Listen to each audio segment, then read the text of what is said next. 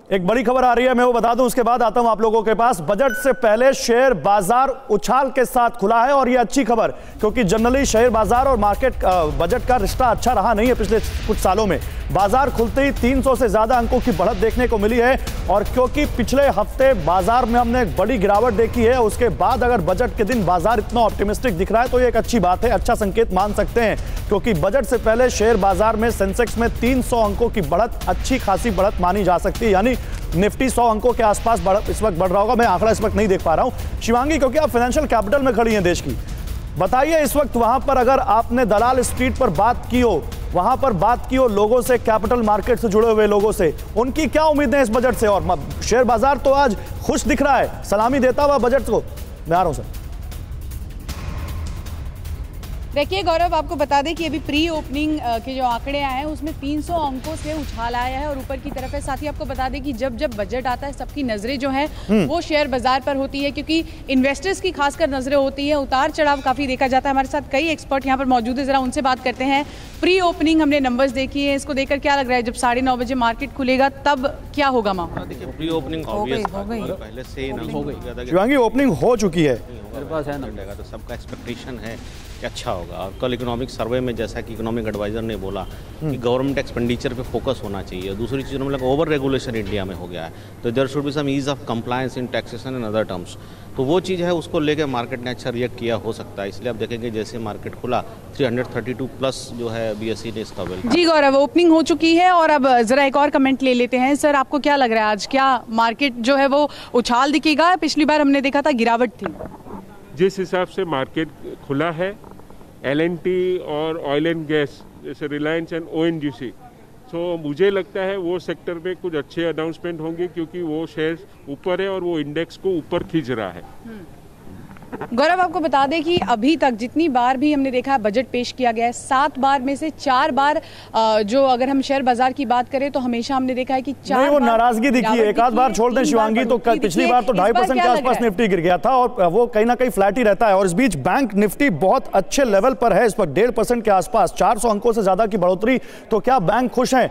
जल्दी से कमेंट क्या बैंकों को कुछ मिलने वाला है? जी हाँ बैंकिंग को देखिए एनपीए को लेके जो रिज़र्व बैंक ने चिंता व्यक्त की थी हम्म। तो उम्मीद की जा रही है कि नेशनलाइज बैंक में capital re introduction capital addition हो सकता है हम्म। और प्राइवेट बैंक्स भी उस एनपीए के लिए पहले से तैयार हैं तो बाज़ार क्या करता है गौरव कि किसी भी समस्या को पहले से डिस्काउंट कर लेता है अच्छी या बुरी खबर दोनों को। हम्म। तो मुझे लग रहा है वो जो एनपीए की खबर थी बाज़ार ने पहले डिस्काउंट कर ली है। हम्म। और अब बाज़ार उम्मीद कर रहा है कि कैपिटलाइजेशन बैंक्स का होगा और बैंकों की माली हालत ठीक है। अश्विनी भी इस वक्त मुंबई से ही है। अश्विनी देखिए आप जहाँ पर हैं एक तो हमने दलाल स्ट्रीट की बात कर ली लेकिन मुंबई को केवल आप दलाल स्ट्रीट के तौर पर नहीं देख सकते। फाइनेंशियल कैपिटल है आर्थिक राजधानी तमाम बड़े बड़ी इंडस्ट्रियाँ तमाम बड़े बड़े कंपनियों के ऑफ़िस वहाँ पर है। हीरानंदानी साहब भी अगर मैं गलत नहीं हूँ तो मुंबई से मैं ज्वाइन कर रहे हैं। अश्विनी, क्या सेंस मिल रहा है फाइनेंशियल कैपिटल से?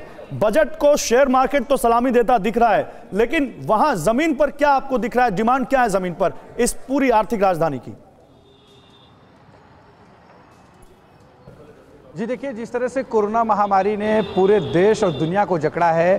देश के लोगों को बहुत ज़्यादा उम्मीद है खासतौर पर अगर हम मुंबई की बात करें तो कोरोना टीकाकरण की हम कुछ लोगों से बातचीत कर रहे थे तो उनका कहना है कि इस बजट में कोरोना टीकाकरण में का एक खास प्रावधान रखा जाना चाहिए ताकि आम आदमी जो है उसे आसानी से और एक एक मिनट रोकूँगा एक बड़ी खबर आ रही है जो अभी हम बता रहे थे ये खबर पुख्ता हो गई है वित्त मंत्री इस बार बजट टैप से पढ़ने वाली हैं वो डिजिटल इंडिया जिसकी झलक हम लगातार इस सरकार के मैनिफेस्टो में इस सरकार के कामकाज में देख रहे हैं।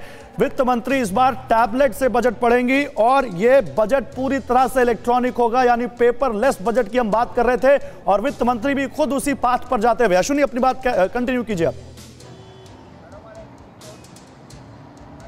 जी आ, कुछ मुंबई करों से हम बातचीत कर रहे थे तो उन्होंने क्योंकि जिस तरह से कोरोना का महामारी पूरी दुनिया और देश में छाया रहा सब यही चाहते हैं कि जो कोरोना का टीकाकरण किया जा रहा है, वो उसका एक बजट में प्रावधान किया जाए ताकि सबको मुफ़्त में कोरोना का टीकाकरण खासतौर पे जो लोग इसको अफोर्ड नहीं कर सकते, उनके लिए एक तरह का प्रावधान रहे और आसानी से लोगों को टीकाकरण मिल सके। और बजट भी कहीं ना कहीं कोविड 19 साथ ही इकोनॉमिक जिस तरह से स्लो डाउन हो गया कोरोना काल में, उसे बढ़ाने के लिए ज़रूर होगा और उसी पर फोकस जो है लोगों का रहेगा। इसी वजह से मुंबई कर भी यही चाहते हैं कि कोरोना में जिस तरह से बहुत सी नौकरियाँ गई हैं, ऐसे में जो छोटे छोटे सेक्टर्स हैं, उन्हें कुछ इस तरह की मदद दी जानी चाहिए, ताकि नौकरियाँ जो कोरोना काल में गई हैं, वो वापस आ सकें। साथ ही जो मैंने पहले कहा कि ज़्यादातर लोगों का फोकस सिर्फ़ ये है कि जो टीकाकरण हो रहा है वो टीकाकरण में लोगों को मुफ़्त में टीकाकरण दिया जाए इसके लिए बजट में बकायदा प्रावधान किया जाए बजट एक आवंटित और और और अश्विनी ये बात जो आप कह रहे हैं ये मुख्य आर्थिक सलाहकार ने भी सरकार को सलाह दी है। कल जब मैंने उनसे बात की उन्होंने कहा कि वैक्सीनेशन केवल लोगों के लिए नहीं है इकोनॉमी के लिए भी होगा। यू स्टॉप नाइन रोज सुबह सात बजे और शाम सात बजे सिर्फ़ टीवी नाइन भारत वर्ष पर।